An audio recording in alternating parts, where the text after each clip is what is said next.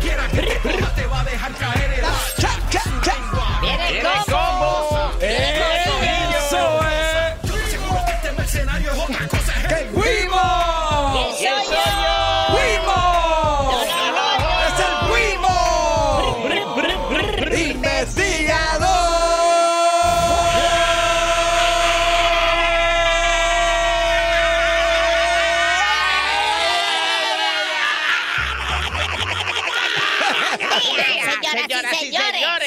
¿Cómo están ustedes? Oh, muy bien, Wimo, muy bien. ¿Está muy bien. pasando? ¿Esos ánimos? ¿Cómo están? ¿Qué pasa, Wimo? Siempre estamos, mira, picando. ¡Adelante! Eso es, papá. Tengo chismes que ni votando los sacaban. Señoras y señores, tengo ya mismito una entrevista.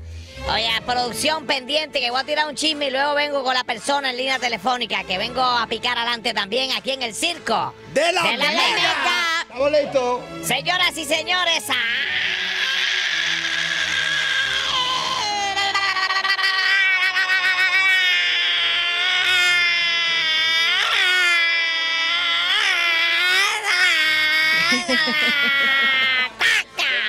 de nuevo, señoras y señores, en otro bochinche nuestro amigo, el reggaetonero. Soy bien fanático de él, pero aparentemente hay que ayudarlo.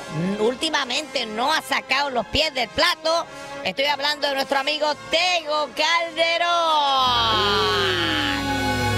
Oye, yo no sé lo que está pasando, si es que yo no sé si él está solito, ¿verdad? Si él tiene alguien que lo maneje, alguien que lo ayude.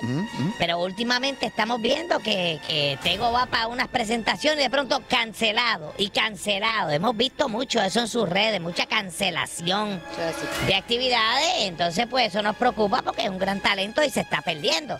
O, o hay alguna situación que él tiene, o, o es que tiene mala suerte con la gente que lo contrata.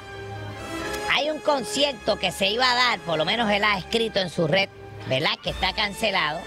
Era Teo Calderón en el 20 aniversario tour, 17 de octubre 2019 en el Velasco Theater en Downtown Los Ángeles. ¿Tú has estado por allá, Tita? ¿Tú que viviste allá tantos años?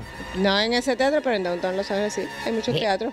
Por eso es un teatro Pero- y eh, aparentemente él se iba a presentar Sí, ahí chiquito. con ah, Adrián Crush y eh, Rick Starr. Y dice aquí, puesto en su red social, a menos que haya sido un hacker o algo, ¿verdad? Pero está puesto ahí. Dice nada más y nada menos, eh, cancelado por incumplimiento de los productores. Así que es una pena. ¿Qué estará pasando? Sí, pero mucho. Señora y señores, pero últimamente hemos visto esto Muy mucho, corridito, ¿verdad? sí. Muy corrido, entonces no, nos preocupa esto porque Tego, yo soy bien fanático de, de Tego, sus letras, el flow de Tego, a mí me encanta Tego como artista y me preocupa que se, se ha estado como, ¿verdad? Que no, no, no le ha estado corriendo las cosas bien, Sí. la vida como que se le ha puesto un poco, ¿verdad? Eh, difícil Sí. en este sentido de cada vez que va a hacer una presentación o en varias ocasiones últimamente que ha tenido tropiezo. Espero que pueda resolver y si no, pues que alguien que sepa de este negocio y si es que te- él está solo, que no sé si él está solo, si tiene compañía que lo maneje, que algo está pasando, pero no está corriendo como debe ser. Es muy triste porque es un gran talento y lo Claro. queremos mucho. Muchas bendiciones, Tego. H para ti, mi hermano. Sí, señor. Seguimos picando. ¡Adelante! Oye, señoras y señores, aparente y alegadamente en el hospital esta queridísima y conocidísima animadora boricua. Aparentemente algo le pasó.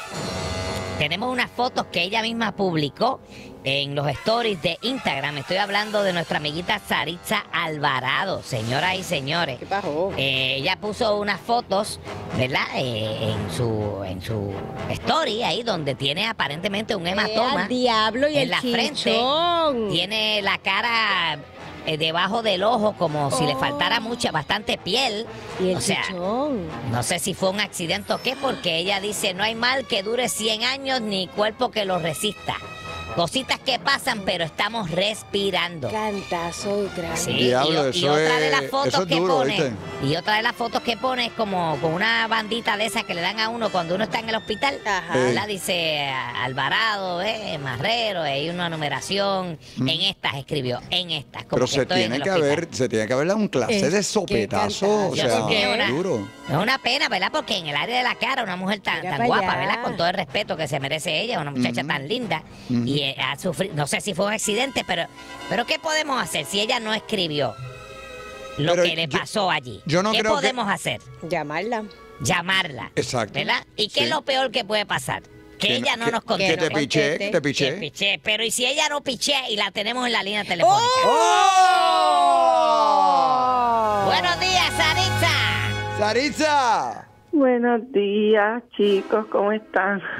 Bueno, nosotros estamos bien, mami. Quisiéramos que tú estuvieras mejor todavía, pero aparentemente algo te pasó. Pero está, de lo demás estás bien, además de, los de los cascaracitos y eso que tiene y el chichón. Sí, gracias a Dios los resultados y las placas salieron bien, pero ahora es que estoy sintiendo el dolor fuerte. Pero ¿qué, qué te pasó, mi amor? Si se puede saber, ¿qué te pasó? Ay, fue una tontería.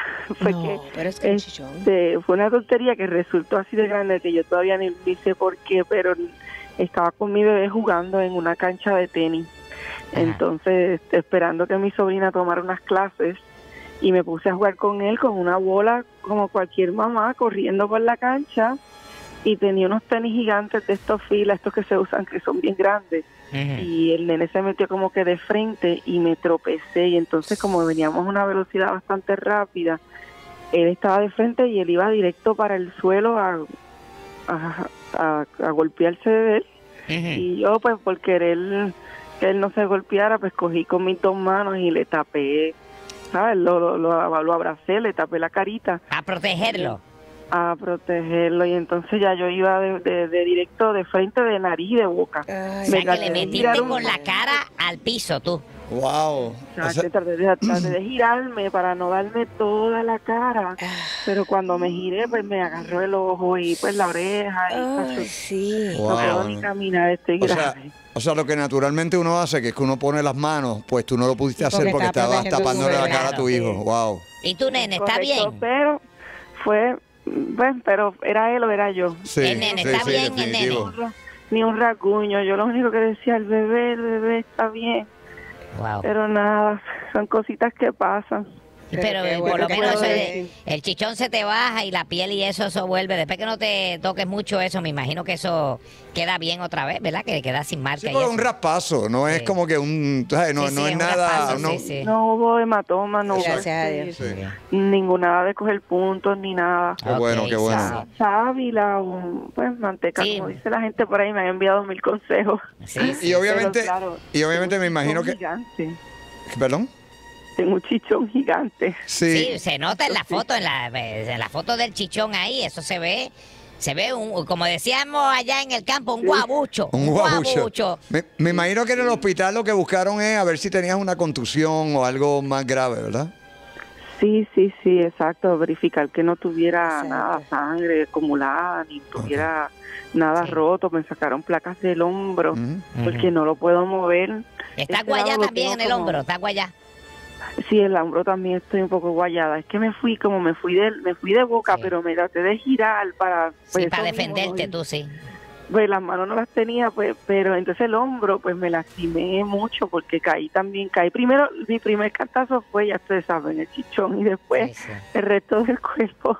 Bendito, pero nada, por lo menos dentro de la situación, una cosa bien buena es que el nene no le pasó nada, gracias a Dios. Qué bueno. Y que tú, ¿verdad? Porque el instinto natural de uno es cuando va para el piso es poner las manos. O sea, pero y tú te aferraste a ese niño, obviamente, y lo protegiste hasta más no poder. Y eso, de verdad que eso vale un montón. Así que, No, sí. imagínate, Nada, para- mamá lo hace por su bebé. Yo Sí. me imagino Eso es así. papá. pues para adelante, Saritza. Espero que te No. mejores pronto y que puedas, ¿verdad? Recuperarte positivamente, satisfactoriamente, que quede otra vez como, como estabas antes. Ay, Dios mío, sí.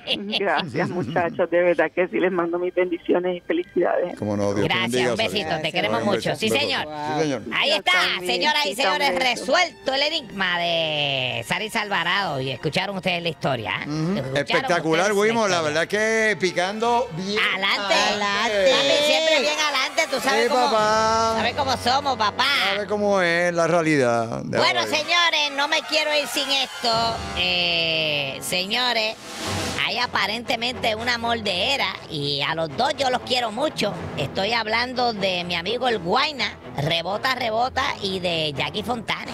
Y señores, que ustedes saben que lamentablemente ¿verdad? Hace unos días atrás, este, pues corrió como pólvora. Aquí hablamos un poco de eso también, de la separación de ellos dos. Vimos un video que hizo el Guaina hablando, ¿verdad? De que estaba soltero y de que le tiraran al DM, que parece que tenía hambre. Hasta Tita le escribió, ¿verdad, Tita? ¿Te contestó? Yo dije- yo dije, ¿qué hace? Porque. Tita no sale con hombres casados, pero a la vez se dejan, ya está, ya está libre, ¿verdad, Tita? No, yo entonces, manito. Para que me contara chismechito de la, de la relación, porque de verdad. Claro, claro, claro, claro. Es como que dime, Pues dime lo que está pachando. Según nuestra, nuestros estudiólogos, ¿verdad? El, el equipo que nosotros tenemos siempre velando las redes de los famosos, me cuentan, señores, eh, que aparente y alegadamente el Guaina le dio un follow a ella en las redes. No, muy duro eso.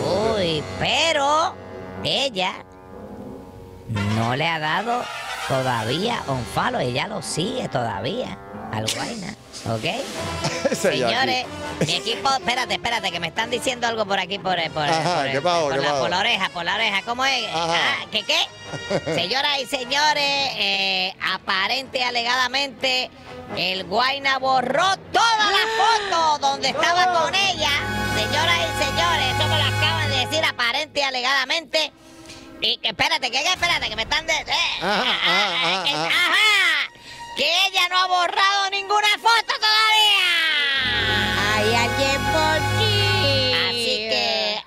por ahí, ¿verdad? Sí, ¿por qué, ¿Cómo por podemos qué? llamar esto? Mira, No, eso es. Ah. mira, sí, yo no sé si esto es verdad, porque fue que a mí me lo contaron. Yo no sé si Dime, es dime, verdad. Funky, dime, dime. Que, que eh, Jackie creo que estaba recogiendo como unos juguetes del piso y dijo, ay, estoy recogiendo juguetes del nene para devolverse.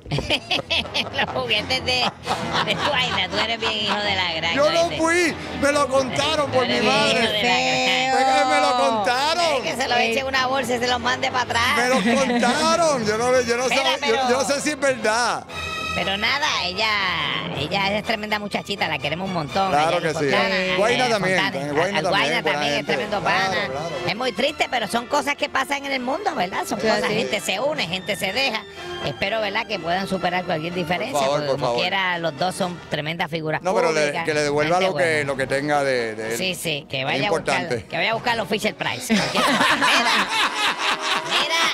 entonces pues, como, como, como el Guayna está libre, pues Jackie está libre. Jackie y yo somos de la misma estatura. Yo soy un guimo, ella no es una guima, pero tenemos la misma estatura, así que voy a tener que ir a revisarle la fascia. ¡Eso! Pero no. ¡Ey, Guimo, Guimo!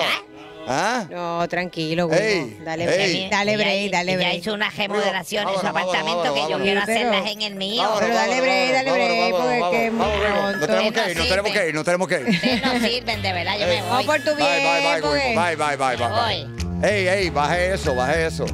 La lupa, la lupa, baje. Mira, me- mira, Funky. Ah, Me dicen que hace falta tú, este, Predator, Che y el Gantel que vayan, que el brinca-brinca pesa demasiado ah, para ok, ok, ok. apartamento.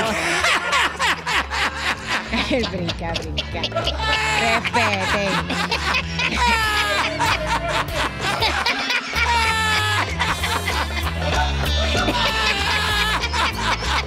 El brinca, brinca. Una nalga para que te levante. El circo de la mega.